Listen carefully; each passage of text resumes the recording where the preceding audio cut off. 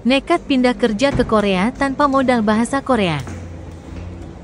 Jadi hari ini guys, saya akan pindah kerja ke Korea Selatan.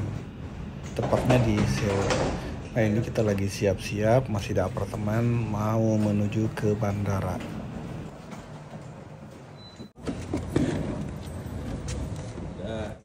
Ambilkan tuh kita Nah, akhirnya kita sampai di Bandara Soekarno-Hatta Airport dan siap-siap untuk check-in bagasi. Hari ini saya terbang menggunakan pesawat Asiana Airlines dan pada, pada waktu check-in tidak ada drama ya guys, jadi semua lancar. Sambil menunggu flight jam 10 malam, kita ke Box dulu untuk ngemil guys.